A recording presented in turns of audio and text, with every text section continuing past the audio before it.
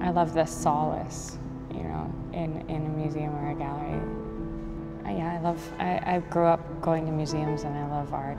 The art that's had the most influence on me nobody knows about, really. Um, my, my grandmother, my dad's mother, was a painter and I grew up surrounded by her paintings.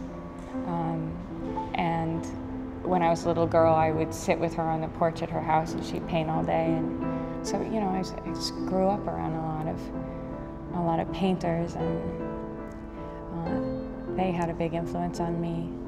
It's really impossible for me to choose between film and theater. Um, I find I sort of long for one when I, I haven't got to do it in a while. I haven't done a play in three years now.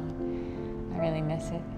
And also just getting to dig into something over a long period of time like that, get, getting another shot at a scene. How the day you've lived informs what you do that night.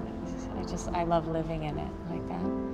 But one of the things that's so lovely about being on set or working on a film is the real world sort of disappears and the world of the film is all there is, you know.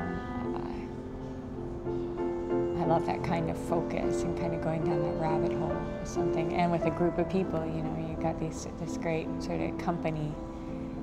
The whole process, auditioning for and getting hired uh, by Paul, you know, was one of the most exciting things that's ever happened to me in my life. And making the movie, it was hard not to be sort of nostalgic even while we were making it because I knew it was going to end, you know.